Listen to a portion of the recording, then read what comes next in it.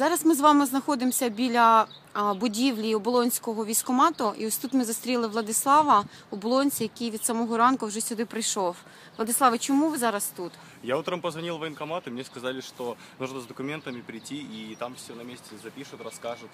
То есть я пришел и сказали, что или сейчас становится в строй и помогать возможному призыву, который состоится в течение пяти дней, то есть это подготавливать, или через пять дней официальная мобилизация и уже отправляют в часть. То есть я думал, что, возможно, лучше подождать официального призыва и уже отправиться в часть, но сказали, что те, кто сейчас помогут, они будут заниматься обороной района. Вообще, по непроверенной информации, сейчас тут действуют диверсионные отряды русских, которые А, Якісь документи ви вже приносили сюди сьогодні? А, Конечно, военный билет и паспорт, то есть здесь все записали, и плюс отдельных людей специально вызванивают, которые уже призваны. Я ще не бачила, поруч з вами були друзі. Це теж місцеві чи просто Так, так, це всі оболонські.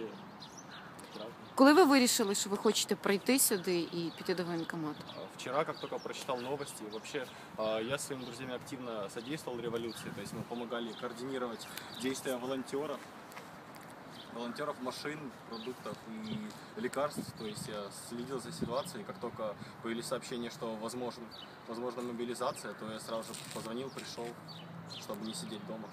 Ви справді готові піти на війну? Конечно. Защищать свой дом, свою семью.